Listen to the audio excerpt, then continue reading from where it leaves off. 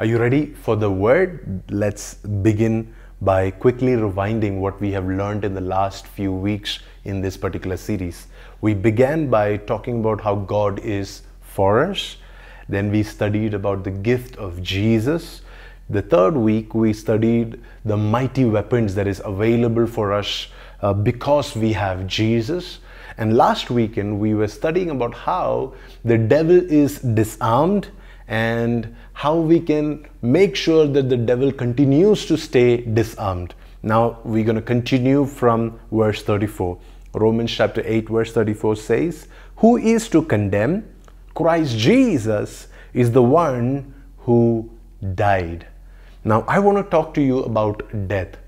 You know, in the world that we see around us, death is causing fear, panic, and it is shutting down businesses, destroying marriages. Uh, you know, it's almost causing the entire world to come to a halt because everybody is afraid of death. Now, the world looks at death as a very negative thing, as a loss, as something that we miss out on if somebody dies. And, and that's true in a sense because death is loss. Physically speaking, death is loss. But that is where the death of Jesus stands different to all the other deaths that we see around us. The death of Jesus was the only death which is completely and a hundred percent a victory and not a loss. It was not a defeat, it was something that brought victory to all of humanity. So let's meditate upon that. To do that, we would go back to the Garden of Eden where the word death comes for the very first time.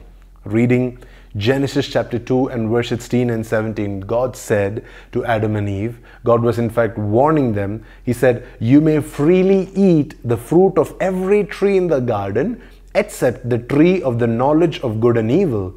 If you eat its fruit, you are sure to die. God was giving them a boundary and saying, You can eat everything else, but don't touch this particular tree. If you touch this tree, you are sure to die. Physically, spiritually, emotionally, in your relationship with each other, in your finances, in your ability to uh, have dominion over all of creation, you are going to die. And God's original plan was for them to live forever.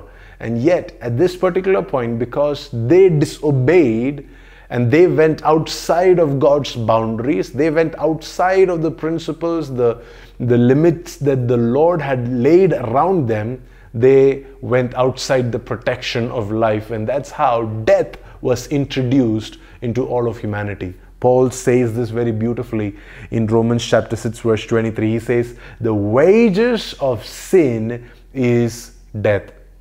And all of us have sinned. There's nobody who has not sinned. Romans 3, verse 23 says, For everyone has sinned, and we all fall short of God's glorious standard. That is what brought death into humanity. Sin is what brought death. Disobedience is what brought death. Uh, causing displeasure to God, bringing a lifestyle of rebellion against God, living in a way that doesn't honor God. That is what brought death into the whole world. Because God is the author of life. You cannot live in rebellion with the author of life and expect to continue to live, expect to continue to prosper. You and I, we are going to die. And the Bible talks about the solution that God gave humanity. Now, death was a permanent problem because sin is a permanent problem. And when God looked at uh, this problem, God said, I need to give them a solution. And that's the, portion that we are going to study today. Uh, Genesis chapter 3 and verse 15, he said, I will cause hostility between you and the woman, and between your offspring and her offspring he will strike your head and you will strike his heel. This is in fact prophetic about the death of Jesus. And something crazy happened at the death of Jesus.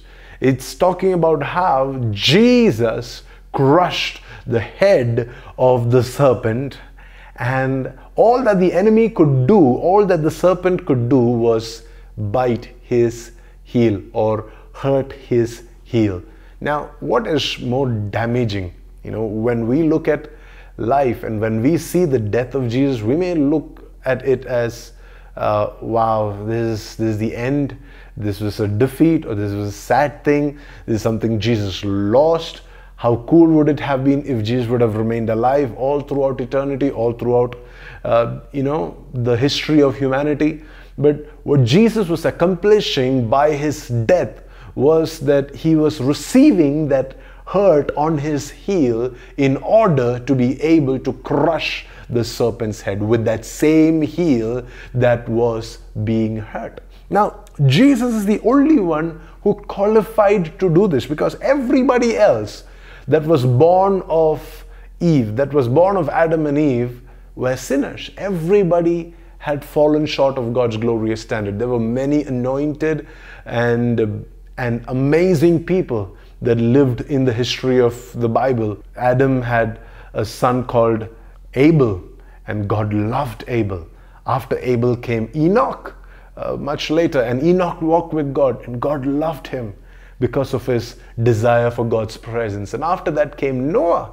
God enjoyed Noah's fellowship. And after Noah came Abraham and Job and so many great men and women of God that walked with God, that loved God, that served God, feared God. And still, in all of them, there was this essence of sin.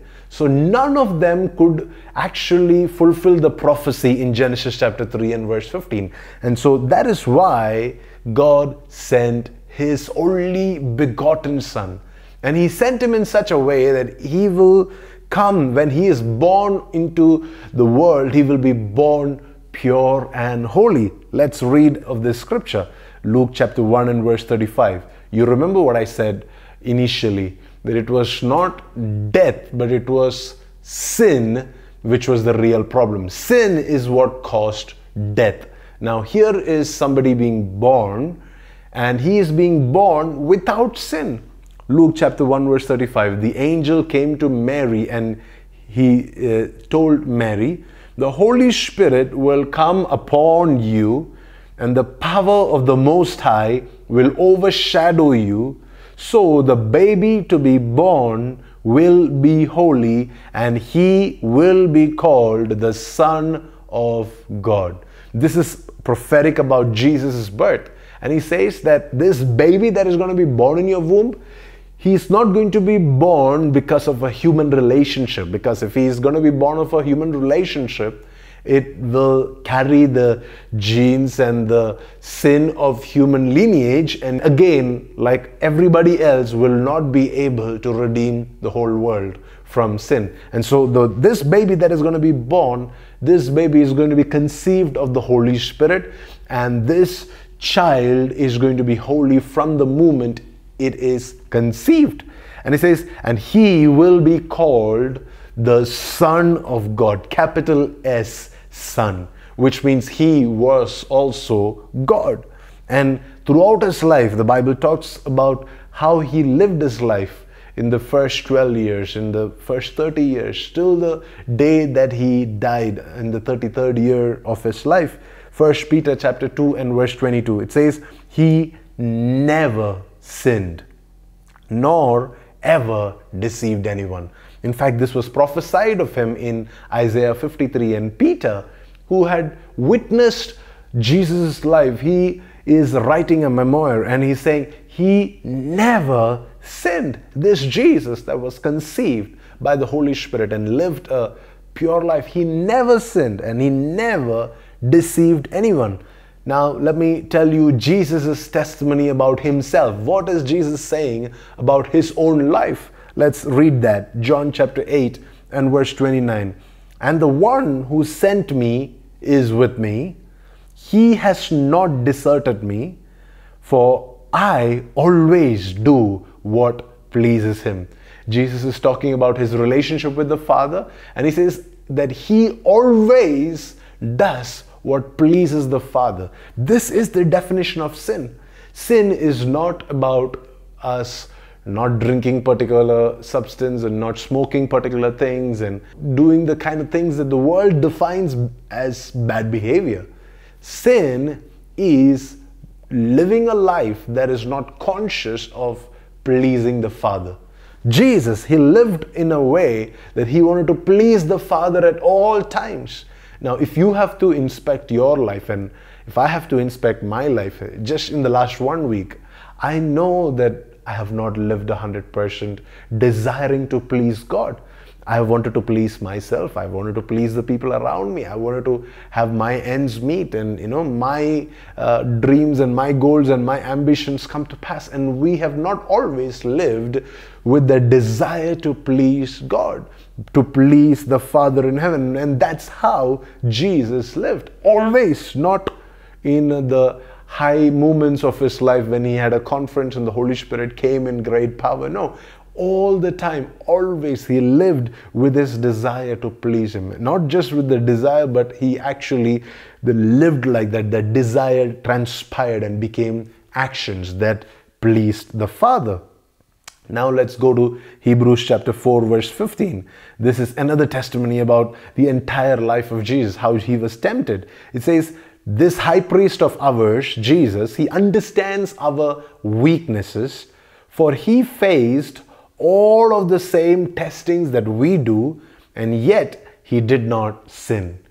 Jesus faced testings, Jesus faced temptations. In Luke chapter 4, it's described in detail how Jesus was tempted. Throughout his life on earth, he was tempted, tested, tried by so many different people and circumstances. And eh, sometimes people would come and say, Hey, just prove to us that you are the Son of God. Just give us a sign and we'll believe in you. And the devil tried all his schemes and every trap that he could throw at Jesus.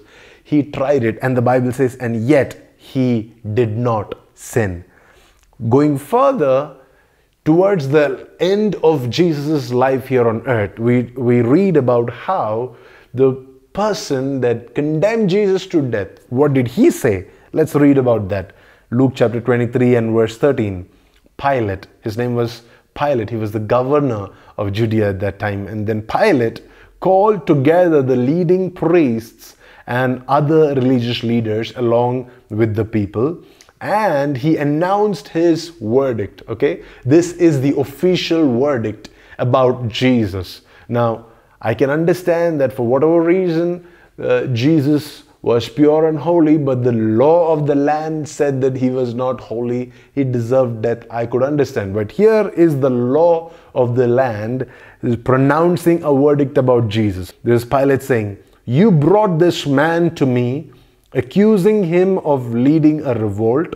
I have examined him thoroughly on this point in your presence, and I find him innocent. Pilate the governor of the land, he found that Jesus was innocent. So what did he do? He sent Jesus to Herod. Uh, and the Bible says, the next verse, Luke 23, verse 15, Herod came to the same conclusion and sent him back to us. Nothing this man has done calls for death penalty. No, Herod was not as uh, liberal minded as Pilate was Herod was a really wicked guy, loving pleasure, very worldly and carnal. And even Herod himself couldn't find any fault with Jesus. He made fun of him. He put his robe on Jesus to, you know, tease him and do all of that and sent him back saying, Hey, I don't find anything wrong with Jesus. Please understand that there were so many false accusations that was leveled up against Jesus.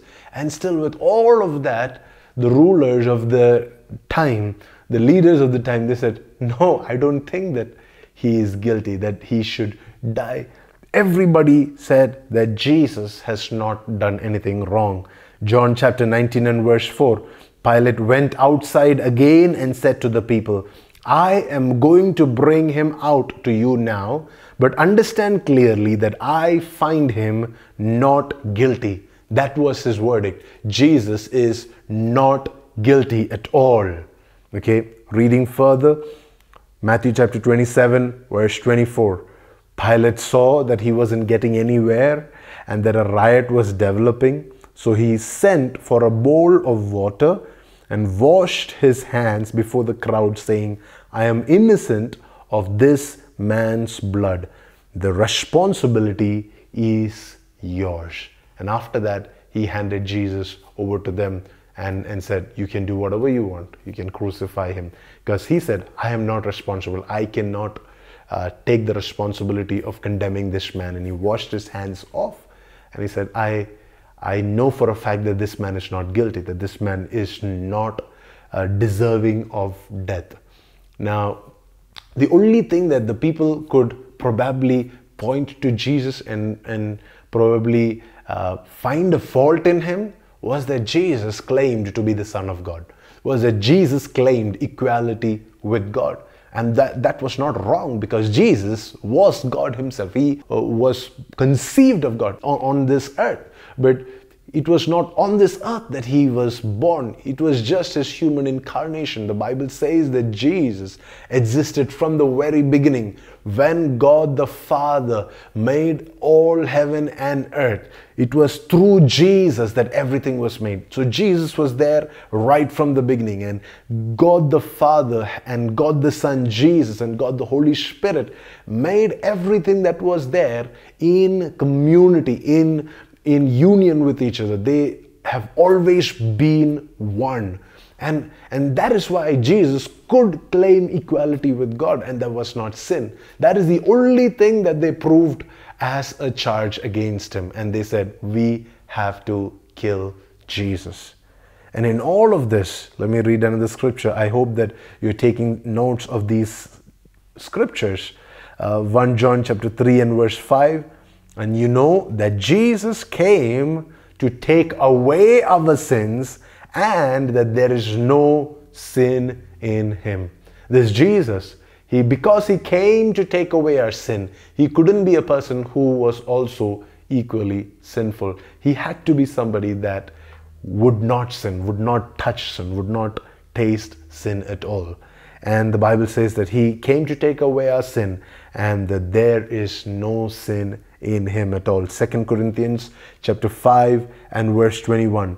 For God made Christ, who never sinned, to be the offering for our sin, so that we could be made right with God through Christ. When Jesus died on the cross, when Jesus was condemned to die, he was not condemned to die for his own sin.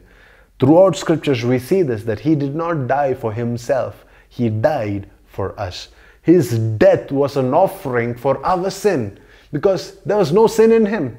But all of humanity has sinned. All of humanity has fallen short of God's glory. All of humanity deserves death. And here is this one person in all of human history that doesn't deserve death and yet is being condemned to die by the ones that do deserve to death.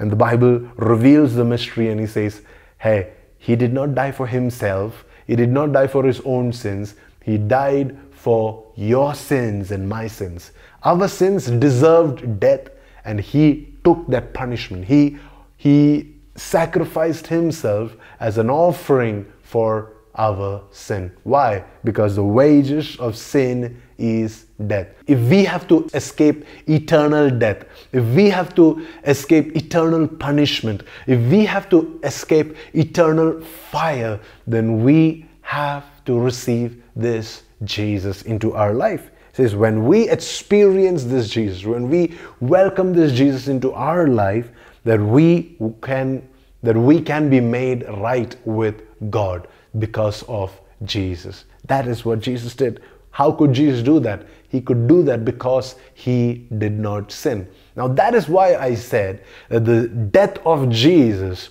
was different from the death of anybody else that lived on this planet. When somebody dies, it may be a loss, it may be a defeat. But when Jesus died, that was victory. That was not loss. That was profit for all of humanity. That is why I have titled this morning's word as victory in death. This morning, we can experience this more than conquerors spirit. We can be more than conquerors. We can experience victory in every dimension of life because Jesus, who did not deserve to die, he died on our behalf. Jesus, who did not have sin, Jesus, who did not have any reasons to be defeated, got defeated on the cross. He, he laid down his life on the cross so that we can be more than conquerors. The Bible says in 1 Peter chapter 1 and verse 18 and 19, couple of scriptures that is worth memorizing. The Bible says, For you know that God paid a ransom to save you from the empty life that you inherited from your ancestors. And it was not paid with mere gold or silver, which lose their value. It was the precious blood of Christ, the sinless, spotless Lamb of God. This offering that we are talking about, that was uh, given so that we can live, so that we don't have to die like Jesus died, so that we don't have to be disconnected from God, so that we don't have to live our lives in shame and condemnation. This offering was not paid by gold or silver because everything loses value. You know, we're living in a day and a time when uh, the markets are crashing the things that we thought are the most valuable, it will never lose its value, are now losing value. And nobody wants those things anymore. And people are all running after things that, that are going to save their life, that are going to protect them from death. And here is the assurance given that it is not gold or silver that is going to protect you. It says it is the precious blood of Jesus Christ, the sinless, spotless Lamb of God. That is the blood with which we were purchased. That is the blood that was given as an offering on our behalf. Now, this morning, as I'm talking to you, some of you will look at this and say, No, all this is nonsense. All of this is useless. This is not something that I want to subscribe to. This is not a thought pattern or belief system that I agree with. And I understand where you come from. Uh, you may be thinking that you're good enough or or that you, you know you don't really deserve to die but look at the world around you look at everything that we are experiencing and everything that we are going through and and the only thing that can stop this, the only thing that can turn the world around is when you and I will trust in the precious blood of Jesus. And in fact, Jesus is coming back.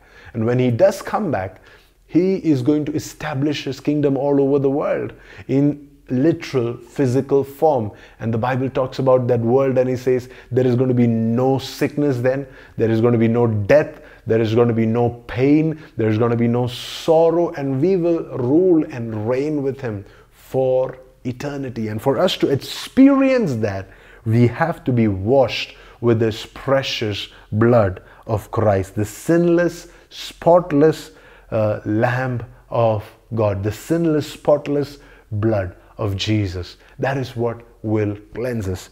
Paul talks about how we can view the death of Jesus. You know, we can see it as a victory or we can see it as defeat. 1 Corinthians chapter 1 and verse 22 he says, It is foolish to the Jews who ask for signs from heaven, and it is foolish to the Greeks who seek human wisdom. You know, Jews were the ones that were saying, Hey, something miraculous should happen now. When Jesus was hanging on the cross, they actually came and said to him, Hey, try to get off the cross and then we will believe in you. And for Greeks, for the ones that were not Jews, they, they were like, hey, um, this doesn't make sense. This is not logical. This is not rational. They were seeking human wisdom. It didn't make sense to them that Jesus dying on the cross can help uh, save me from my sin. You know, that, that doesn't make any sense. That's not how the world's economy works. That's not how the world's uh, system of law and justice work. If, if you sin, you die, not somebody else. And, and so it didn't make sense to both of them. Where it says, uh, so when we preach that Christ was crucified, the Jews are offended and the Gentiles say it's all nonsense. Uh, the Jews think that, you know, man, you guys are um, hurting our religious sentiments. And the, and the Gentiles, they're like, you know, this is just pure nonsense. But verse 24, it says, But to those that are called by God to salvation, they may be both Jews or Gentiles, Christ is the power of God and the wisdom of God. Now, that is what I believe is happening to some of you that are watching me this morning. I know that many people would have gotten offended by what I shared. Many people would have called it nonsense and tuned off.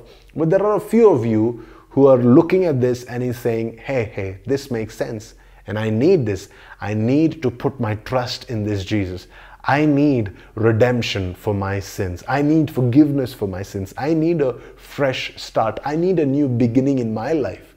I need to get rid of the pain and the challenges and all the things that, that I have done to hurt others and all the hurts that I have experienced. I want to get rid of that in my life. But to those that are called by God to salvation, it may be Jew or a Gentile, Christ is the power and the wisdom of God.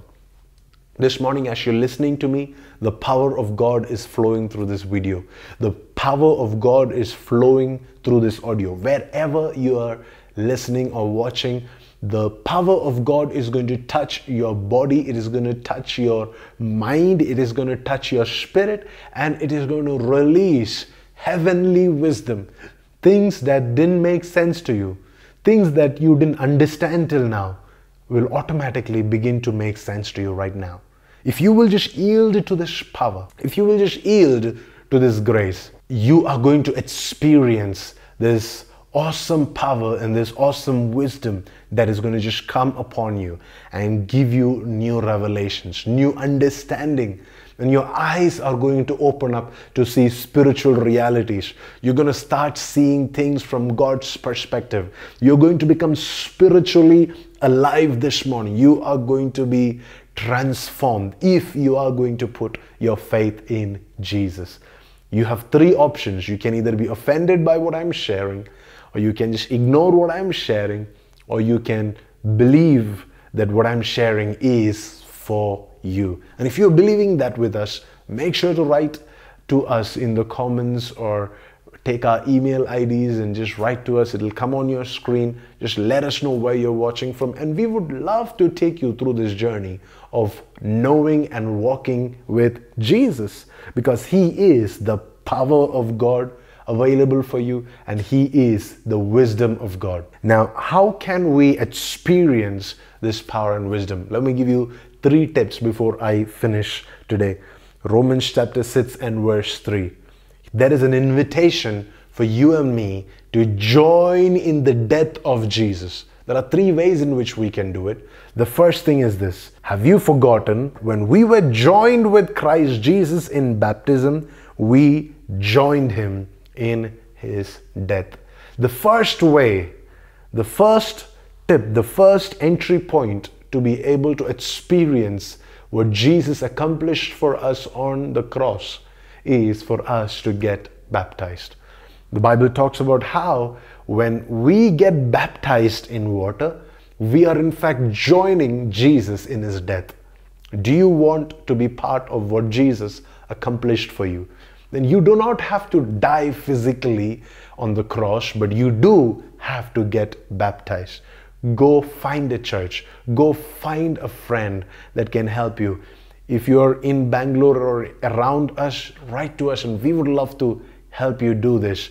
Baptism, what happens when you get baptized is that you have died and your old self is being buried into the waters. And when you come out, you come out as a completely different person. And, and there is a process of regeneration that happens. You know, when a child is conceived in the mother's womb, for the first nine months, the child remains in fluid, in water, in, in uh, uh, liquid atmosphere. And it is there that the child is born. The invisible hand of God is upon the child and he is forming the inward parts of the baby. And nine months later, we see it in reality.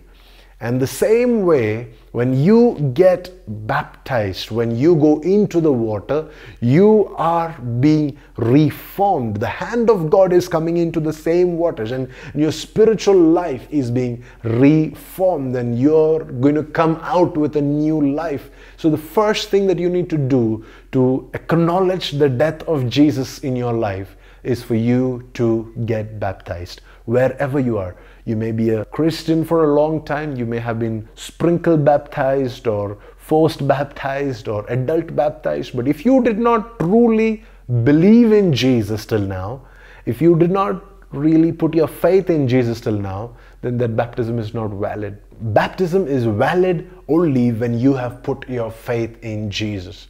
And that is the kind of baptism that is unifying you to the death of Jesus Christ. The second thing that you can do is what Paul did.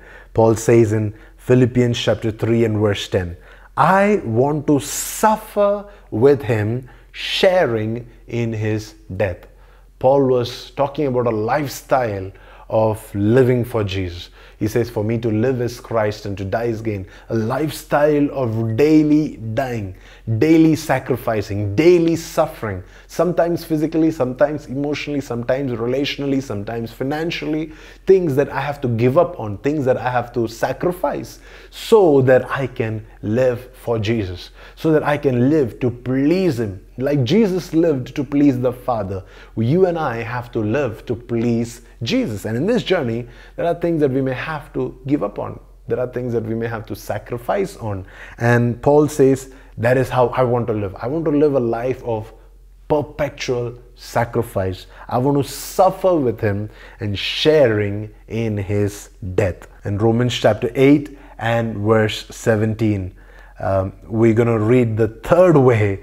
Uh, it says, And since we are his children, we are his heirs in fact, together with Christ, we are the heirs of God's glory.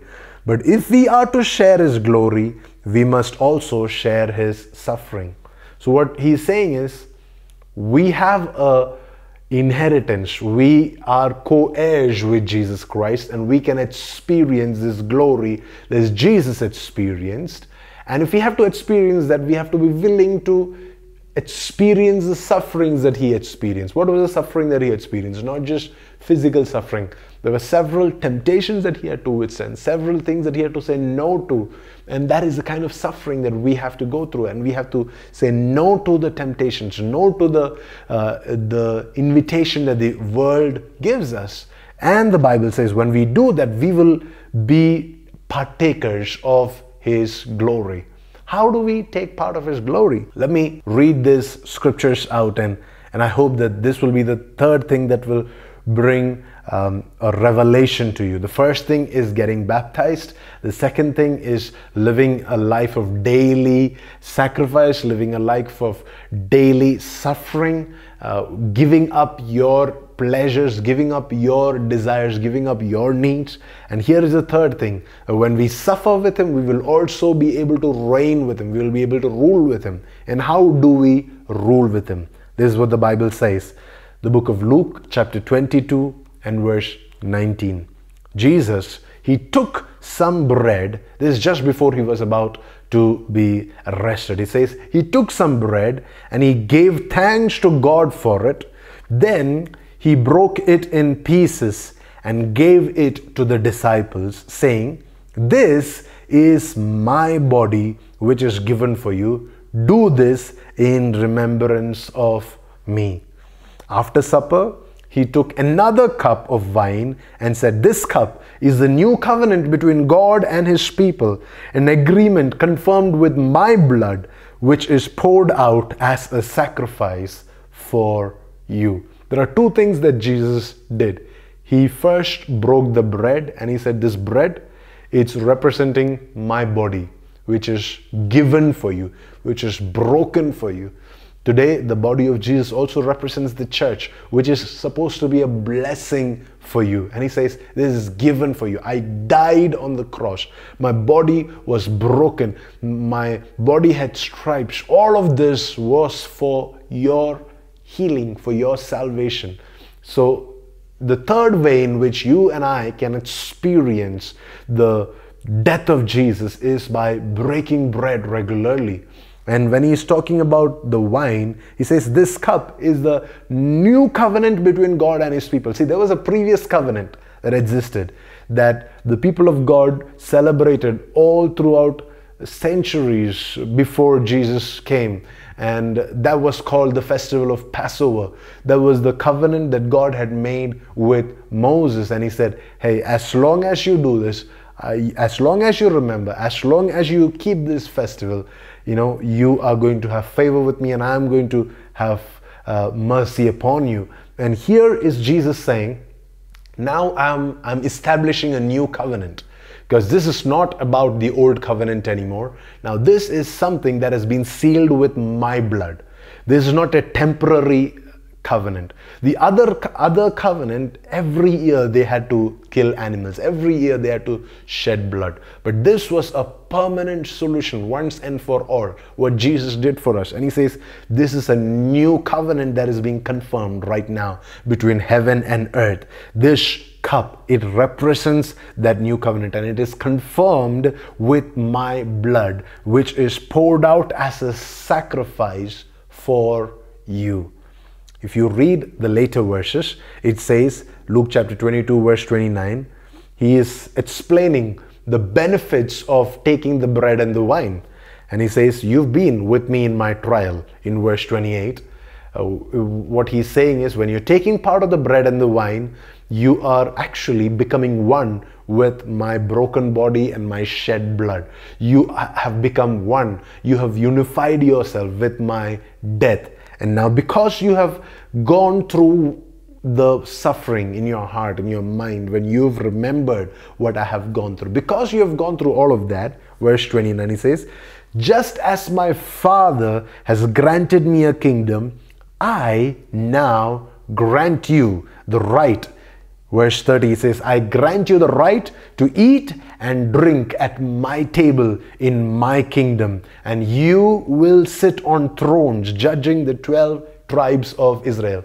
Jesus was specifically speaking to the 12 disciples, and he's saying, You guys, you're to rule over the 12 tribes of Israel.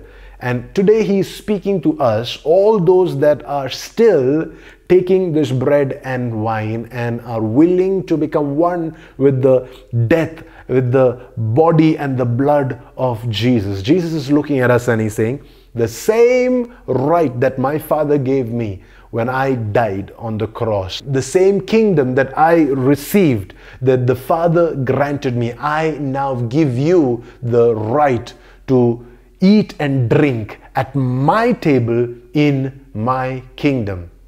And as a result of that, you are going to rule, you're going to judge, you're going to have dominion in the world around you. Now, we are living in a world where, you know, this pandemic seems to have the ultimate dominion. But let me tell you, when we experience what Jesus has accomplished for us on the cross by taking part of the bread and the wine, by coming in union with what Jesus declared for us on the cross, what Jesus uh, purchased for us on the cross through his blood and through his body. I'm telling you, we are not just experiencing his suffering, but we are also, because of his suffering, we are also experiencing the glory that he is giving us. What is his glory? This open invitation to come and eat at his table in his kingdom. And his kingdom is already here on the earth, and it is our job and our responsibility to declare and to unleash His dominion in the world around us. And when we take part of the bread and the wine, one thing that we are declaring to ourselves and the world around us is that the kingdom of God is here and we are the ones that are going to rule. We are the ones that are going to speak and things are going to shift and things are going to change. That is the power of communion. The next, the next and the last scripture for today is from Psalm 23 and verse 5. Uh, this is the Psalm of David, and he says like this You prepare a feast for me in the presence of my enemies. You honor me by anointing my head with oil, and my cup it overflows with blessings. You, you see the feast that is for eating and the cup that is for drinking. And he says, Hey, this is what God is doing for me in this season. He is preparing a feast for me in the presence of my enemies. I may be surrounded by pandemics. I may be surrounded by enemies. I may be surrounded by things that uh, don't like me, things that is looking like, you know, my end is near, the world's end is near, and community end is near. And yet, in the presence of all of this, my God, my shepherd, my father, he has prepared a feast for me in the midst of all of it. And this feast is going to lead me into a place where I am going to be anointed on my head with fresh oil. This anointing is going to protect me. This anointing is going to guard me. This anointing is going to keep me safe. And it says that my cup it overflows with blessings. I will have no lack. I will have no need. I may be surrounded by enemies, but this is my portion. Because I'm sitting at his table, because I am eating at his table because I am in his kingdom. I'm not in the kingdom of this world. I'm not ruled and governed by the systems and the patterns of this world. I live by the kingdom standards of heaven. And because of that, I have the grace to rule over my enemies in the world around me. So, three things, let me just rewind them once again. Three ways in which you can become one with the death of Jesus. The first thing, make sure to get baptized. The second thing, make sure to live a daily life of uh, building an altar and laying yourself down on the altar. Just dying to yourself sharing in the death of jesus like paul says in uh, philippians chapter 3 and the third thing is to take part in the communion. Because when you take part in communion you're not just remembering the death and, and the sufferings of jesus you are also declaring to the world around you that now you are seated in a place of honor. Now you are seated in a place of dominion. Now you are seated in a place of authority. And God has prepared a feast for us in the presence of our enemies. And He is honoring us by anointing our head with oil. And that our cup, it overflows with blessings because this is a cup that sealed the new covenant that is made between heaven and earth. I pray that this will become a revelation to you wherever you are. Just join with me and let's pray. Father, may your wisdom, may your power be released to your children. Lord, help us to truly experience the fullness of the victory that you have won for us on the cross. You did not deserve to die. You never committed a sin, and yet they condemned you to sin. And it was not for your sake that you died. You died for my sake. Uh, you died to redeem me, to take away all my sins, to be an offering for my sins, God. And I also know that today I can take part of your death by getting baptized, by by sharing in the sufferings that you went through, by saying no to temptations, by saying no to myself, by saying no to my desires, I can share in that sufferings and, and in doing that I can be one with you. And when I share in your sufferings, I also receive the glory and I can experience that glory by taking part in the Lord's table, by taking part of the feast that you have prepared for me and the and the cup that you have prepared for me because this this feast it represents the body of Jesus this bread it represents the body of Jesus and this cup it represents the blood of Jesus Lord, I pray that your children, wherever they are watching, they will experience the victory that is available for us in the death of Jesus Christ. We love you and we celebrate you. In Jesus' name we pray. Amen.